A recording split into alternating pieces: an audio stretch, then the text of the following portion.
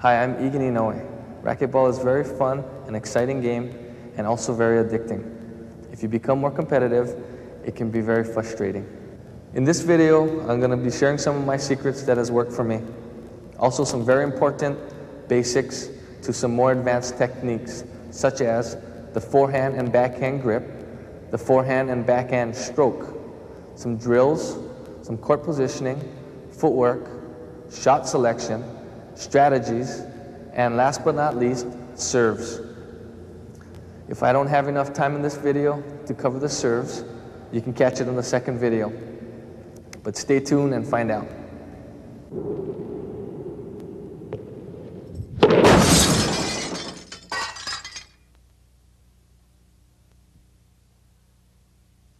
Eye guards are very important. I like the idea of hingeless eye guards like these. Shoes to me are also very important. In racquetball, we have a lot of quick stops and goals, a lot of side to side and front and back movements. I like shoes that have gum rubber soles and round edges. The rounded edges are good because they are like radial tires. You have more grip on the edge of the shoe. Now, about picking the right racket for you. There are lots of rackets on the market now, but you need to pick the one that feels comfortable to you. When you first grab a racket, it should feel comfortable, and most times the most comfortable racket will be an E-Force racket. You should have a space between your fingertips and palm. You don't want the fingers touching your palm. Think about this. If your fingers touch your palms, that's as tight as you can grip. If you keep a space between there, you can always grab on tighter. There are three types of grips a leather, synthetic, and rubber. I play with the rubber grip because it gives the racket a better feel and acts as a shock absorber. If you use a glove when you play, then the rubber grip is the way to go. There's basically two types of rackets out one with a throat piece and one without. The racket with the throat piece make the sweet spot more round compared to the open throat models, which make the sweet spot more egg shaped. You will probably find that the open throat will give you more power. That's because the main strings, which are your power strings, are longer. String tension is also something I want to bring up. The tighter the tension, the harder you will hit.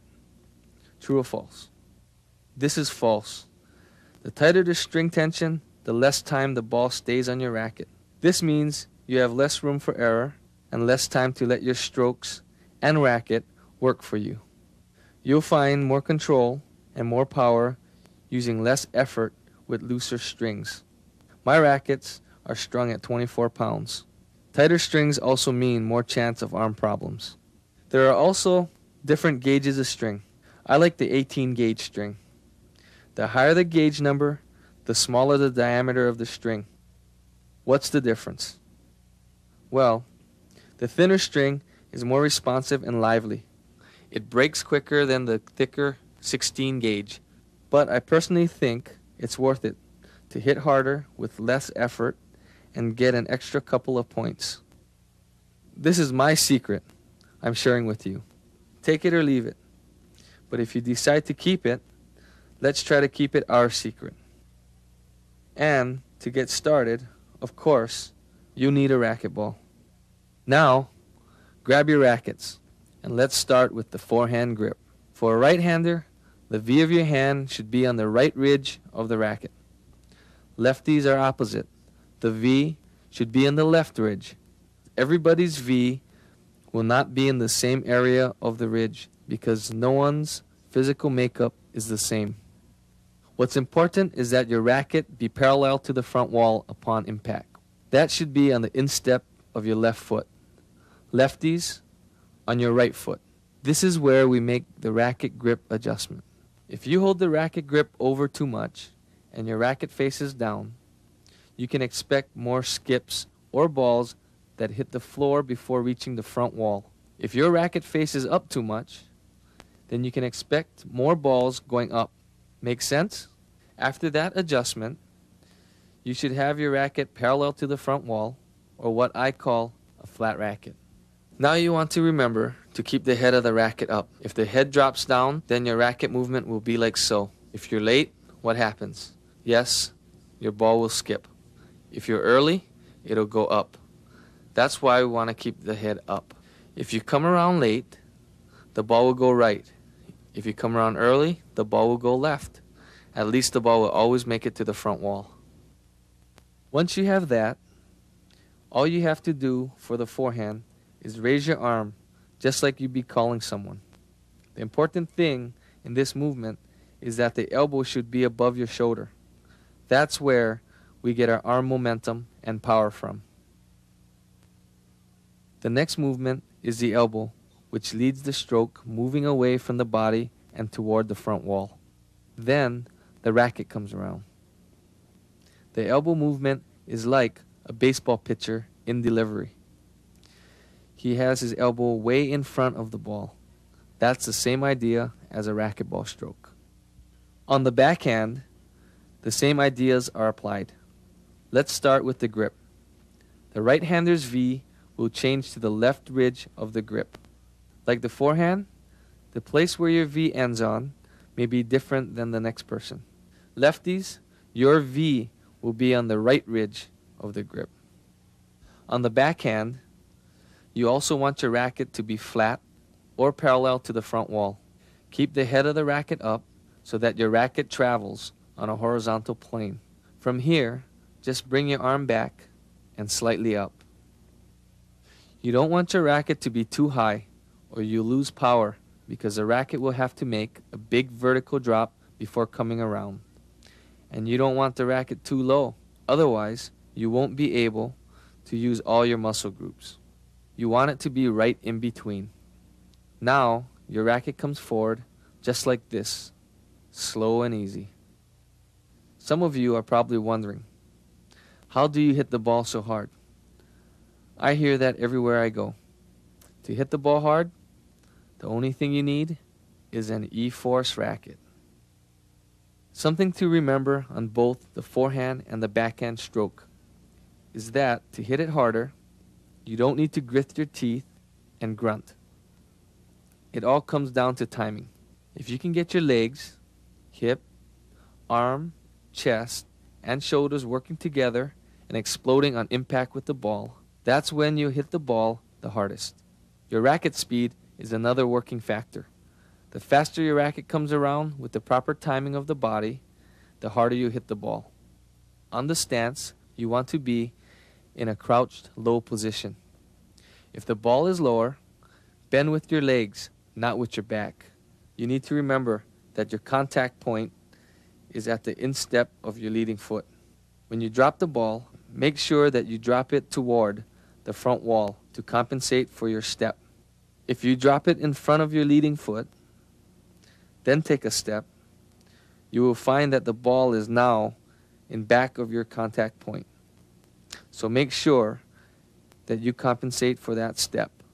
Here's a drill that you can use to get your stroke to become second nature and to help you find your optimum contact point with the ball. You want to start from center court, and it's the same drill for the forehand and the backhand. You just drop the ball and hit it. The object is to keep the ball between yourself and the sidewall 10 times in a row. If it hits the sidewall or goes behind you, start again from zero. This will also help you in game situations. This drill will teach you to hit through the ball no matter what the score is. Now you all have perfect strokes, but in the game situation, you can't hit the ball like you did in practice. In your head, you're thinking, Egan taught me wrong. What we have to do now is get your footwork better. Now that your strokes are good, your feet and legs have to get you there so you can use your stroke. Basically, from side to side, you only really need two steps. Remember when you're taking your first step to the forehand side, you should already have your racket ready. As you're taking your second step, you should be taking your swing. Same for the backhand. Your first step, racket ready. On your second step, start your swing. Anytime the ball gets by you and goes to the corner, now it's big steps to get in the area and small steps to prepare to hit the ball. You need the big steps to get there fast, and once you're there, the small steps make it easier to set up. This is especially so if the ball changes directions. If it jumps at you while you're in a big step, it's hard to move back. But with small steps, you can change at any time. It's important to keep the head level at the same height while moving to hit the ball. So remember, if your head moves, so does your vision. Court positioning. Do we want to control center court? Yes, because it's the closest position to the vital areas on the court. Where is center court? Well, it's an area around here. We don't want to pinpoint one spot. We want to move around in the area according to what's happening in the game. For example, if your opponent is hitting lots of pinches that you're not getting to, you need to move forward in center court. If you're getting past, it's time to move back into center court. If he's hitting lots of down the lines that are not coming off the back wall and you are not getting to, you should move a step to whichever side he's hitting from. Before I go into some strategies, let me show you some different offensive and defensive shots. Your offensive shots are called down the line, cross court, reverse pinch, pinch, and splat. Difference between the pinch and the splat is that the splat is normally hit when you're closer to the wall and pinches when you're farther from the wall. They both hit the side wall, then the front wall. On the defensive side, you can use ceilings, Z's, and around the wall shots. The defensive shots are usually used to move your opponent out of center court, especially if you don't have an offensive opportunity. The basic strategy in racquetball is to hit the ball away from your opponent. But that's not always the easiest thing to do. What you will find in most matches is that whoever is controlling center court is usually the winner of the match. If you don't have an offensive shot, then try to move your opponent out of center court with ceiling balls or around the wall shots. If your opponent is cutting off the around the wall shots, you should stick with basic ceiling balls. There are other situations that may come up in matches, like you're playing a drive serve and shoot player and you cannot match up to his or her style. What you need to do is change the pace. Slow the game down with lobs, timeouts, and 10 seconds between rallies. It will usually work unless your opponent is concentrating well.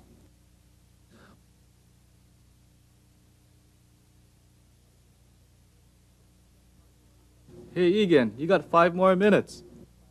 Maybe we can cover serves in five minutes. Nah, let's just get in the next video.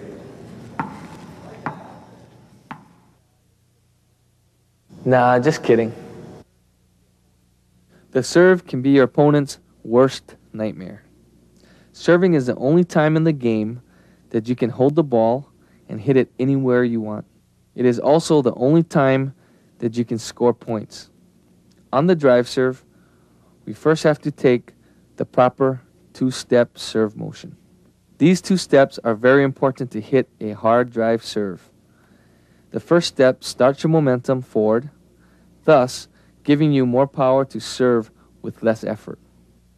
Next, we need to work on serve motion deception. We need to disguise all of our serves using the same motion and being able to hit at least three different serves from the same movement. All of this takes patience, time, and lots of practice.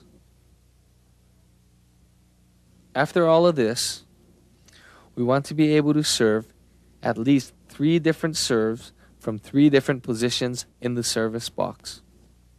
This changes the angle on the serves that your opponent is seeing. My objective as a server is to have my opponent worried and guessing what my next serve will be. You know, and I know, because we have all felt this way before when your opponent is serving good drives. It's stress. Lob serves are the same idea. The three main differences are that the ball is moving slower You only need a one step motion, and instead of only being able to mix up the angle horizontally, you can now do it vertically.